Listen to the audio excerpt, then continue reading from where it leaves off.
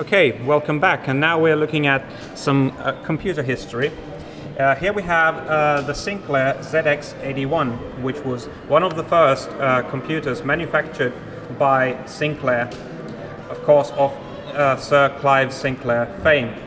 Uh, this was a very basic computer with one kilobyte of memory, uh, no colors, uh, minimal sound, and uh, a very interesting keyboard that had basically no feedback whatsoever.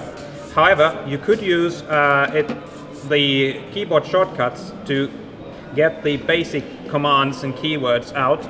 So this was uh, basically suitable only for programming practice. Uh, some games did come out and, and, a few utilities as well.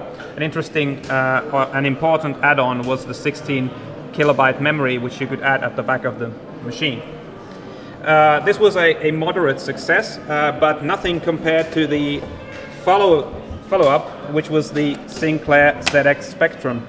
Now, this was uh, sort of a, a, continuation of the ZX81, so it's very simple, uh, Zilog Z80 based, and has a only the minimal uh, connections or ports. So basically, there's only power, an ex uh, expansion port, then the TV, and only uh, the tape drive inputs and outputs.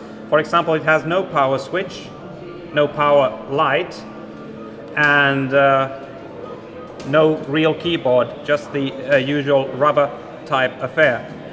Uh, this didn't matter much though, because the, the machine was so cheap that a lot of people wanted to buy it, and uh, for all intents and purposes, for a long time, this was the home computer to use in Britain and also uh, in many Eastern European countries because uh, the Soviets created their unofficial clones of the system and they were widely built behind the Iron Curtain.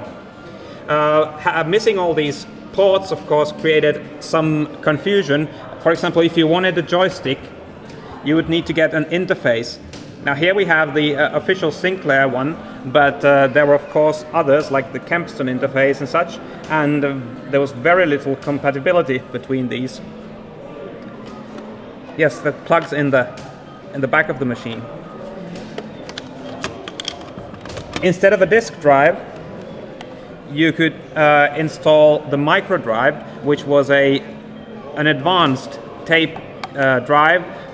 It would only run one way so there was no rewinding, and it was in an endless loop.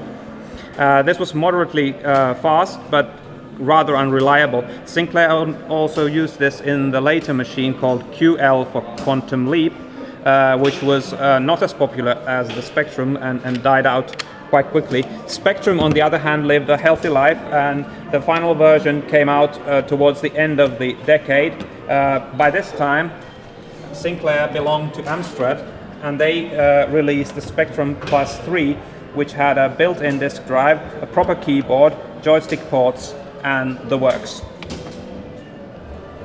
But the Spectrum wasn't a success only in Britain. It was also a great success in Finland. It was a great hobbyist machine.